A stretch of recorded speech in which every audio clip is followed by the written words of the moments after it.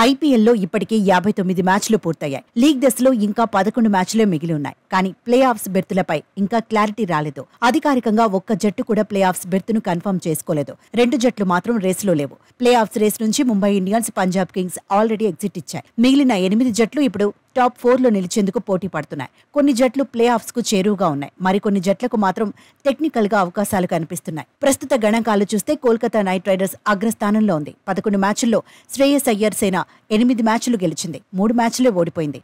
పదహారు పాయింట్లు సొంతం చేసుకుంది. రన్ రేట్ ఒకటి పాయింట్ నాలుగు ఐదు మూడు. లీగ్లో కేకేఆర్ ఇంకా మూడు మ్యాచ్లు ఆడాల్సి ఉంది. ముంబై ఇండియన్స్ గుజరాత్ టైటాన్స్ రాజస్థాన్ రాయల్స్ను ఢీకొట్టబోతోంది. ముంబైతో హోమ్ గ్రౌండ్లో ఆడటం అడ్వాంటేజ్.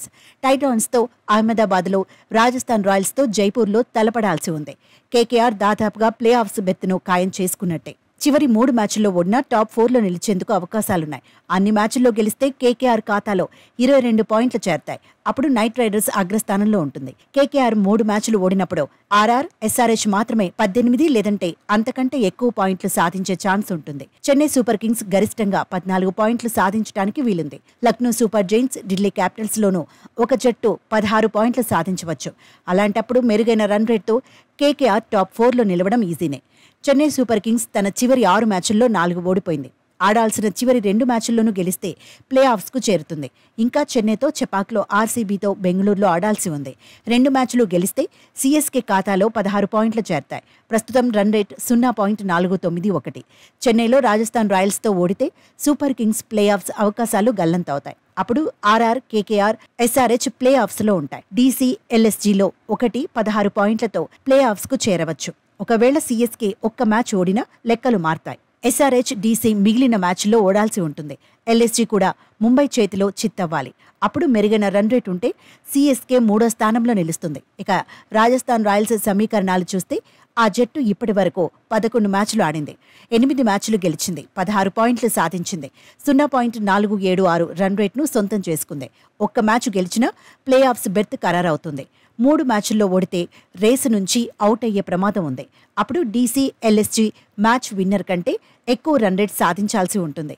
రాజస్థాన్ రాయల్స్ ఇంకా సీఎస్కే పంజాబ్ కేకేఆర్తో ఆడాలి. సన్ రైజర్స్ హైదరాబాద్ సంగతి చూస్తే కమిన్ సేన పన్నెండు మ్యాచ్ల్లో పద్నాలుగు పాయింట్లు సాధించింది. రన్ రేట్ సున్నా పాయింట్ నాలుగు సున్నా ఆరు. ఉప్పల్లో గుజరాత్ టైటాన్స్ పంజాబ్ కింగ్స్తో ఆడాల్సి ఉంది. ఒక మ్యాచ్ గెలిచినా ఎస్ఆర్హెచ్ ప్లే ఆఫ్స్కు చేరే అవకాశం ఎక్కువగా ఉంటుంది. సొంత మైదానంలో ఆడటం సన్ రైజర్స్కు కలిసి రానుంది. లక్నో సూపర్ జైన్స్ పన్నెండు మ్యాచ్ల్లో పన్నెండు పాయింట్లు సాధించింది. రన్ రేట్ మైనస్లో ఉంది. ఇంకా డీసీ ముంబైతో ఆడాల్సి ఉంది. చివరి రెండు మ్యాచ్ల్లో గెలిచినా మెరుగైన రన్ రేట్ లేకపోతే టోనీ నుంచి బయటకు వెళ్ళే అవకాశం ఉంటుంది. డీసీ కూడా పన్నెండు మ్యాచ్ల్లో పన్నెండు పాయింట్లు సాధించింది. ఆర్సీబీ ఎల్ఎస్జీతో ఇంకా ఆడాల్సి ఉంది.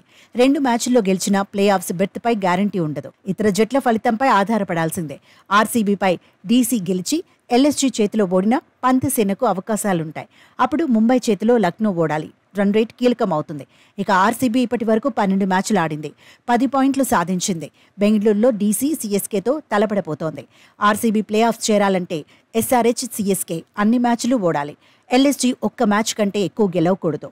మెరుగైన రన్ రేట్ ఉంటే ప్లే ఆఫ్స్కు ఆర్సీబీ చేరవచ్చు. ఇక పన్నెండు మ్యాచ్లు ఆడిన గుజరాత్ టైటాన్స్ పది పాయింట్లు సాధించింది. చివరి రెండు మ్యాచ్లు గెలిచినా జీటీ ప్లే ఆఫ్స్ చేరడం కష్టమే. ఎందుకంటే రన్ రేట్ దారుణంగా ఉంది.